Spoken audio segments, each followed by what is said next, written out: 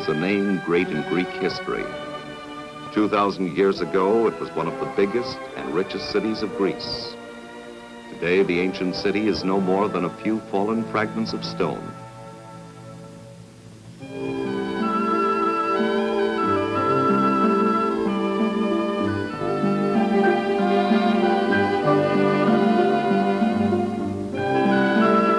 In place of the complex and cultivated society which once peopled it, there are only the farm families which live nearby and cultivate their vineyards.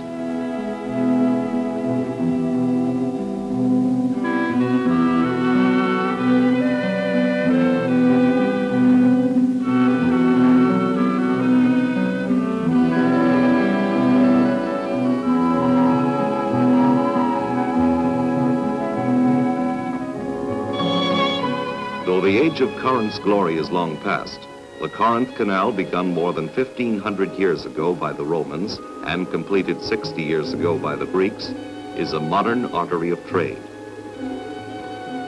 To the Greeks, a seagoing people from their earliest days, keeping the canal open and in operation is vital. For it saves days of traveling time to vessels plying between the Adriatic and Aegean by cutting straight through the four-mile isthmus which once joined northern Greece with the huge Peloponnesian Peninsula.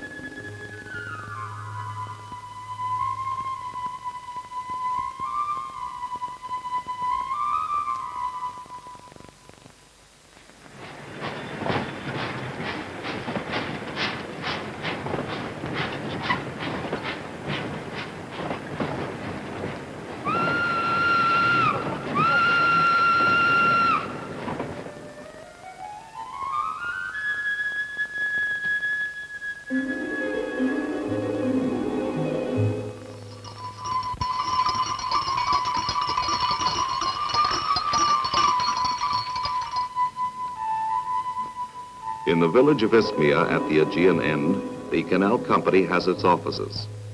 The manager is Dimitrios Tarousis. Because ships wanting passage have to make arrangements in advance to be sure the way is clear, the office phone is busy all day with calls from nearby Piraeus and its harbor master.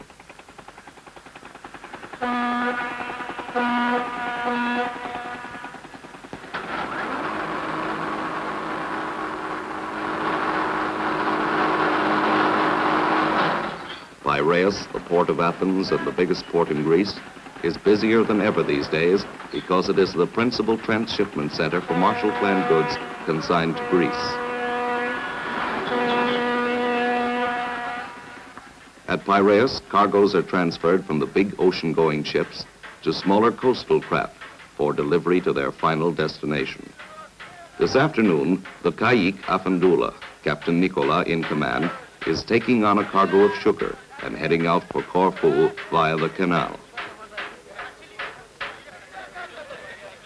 As soon as the cargo is aboard, Captain Nicola sets out for the harbor master's office to get his clearance papers stamped.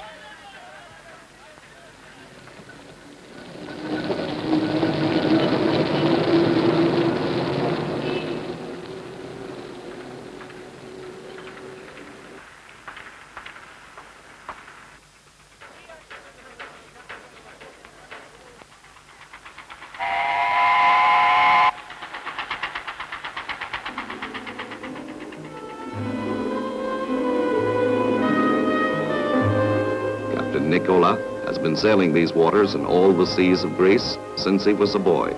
But this is the first time since the war that the Afandula has been down this way.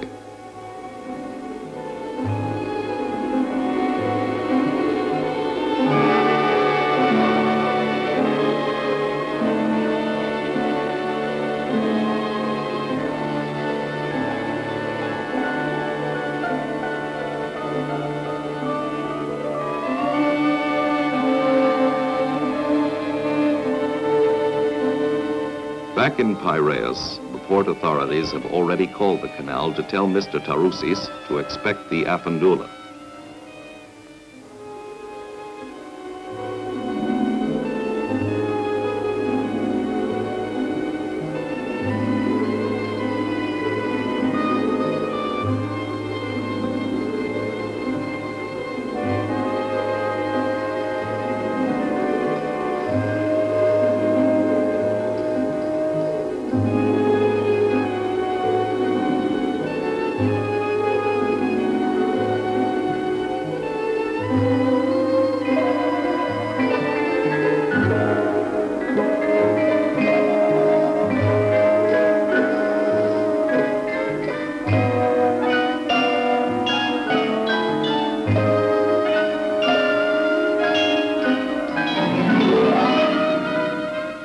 Nicola and Mr. Tarousis are old friends from the days before the war when the Afandula used to make the trip through the canal a dozen times a year.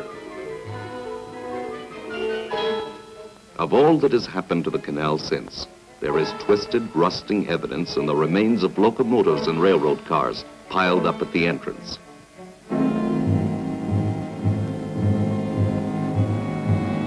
In 1944, with the war already lost, the retreating Germans toppled them into the narrow waterway to block it to Allied shipping.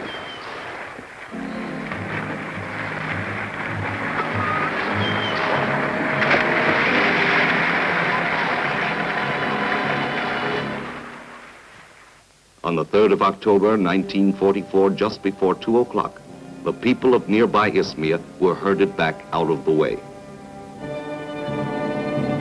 Thank you.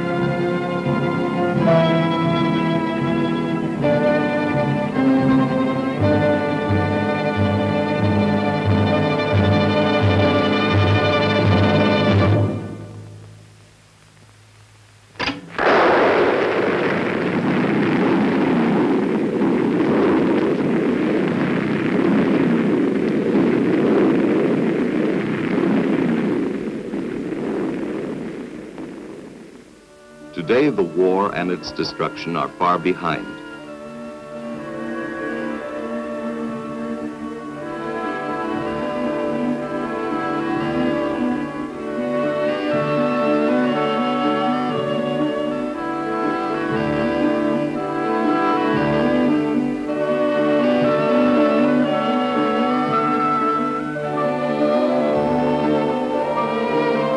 Within the canal, marks of the war and the occupation are still plentiful.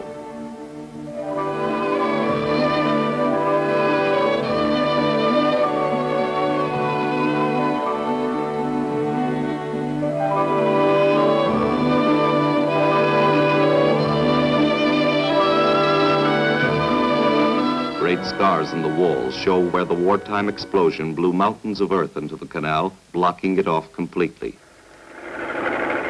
To clear the canal took 13 months of hard work by Greek and American engineers and workmen.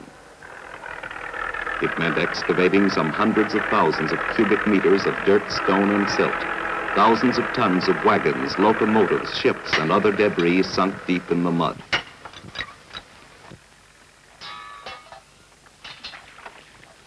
But by November of 1948, the job was done. The canal was open to full use again.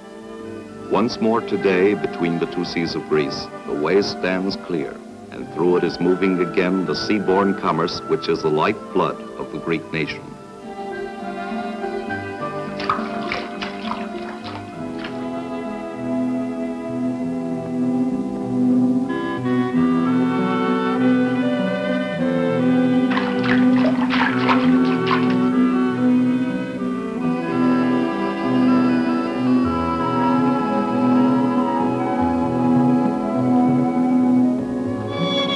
Once more, fishermen can move at will from sea to sea in search of bigger catches and a better living.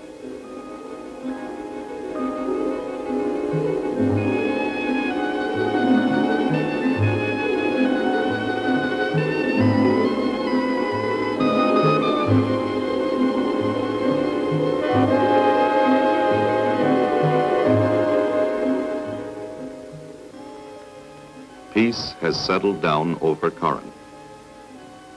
And as always in times of peace, the nights are silent now.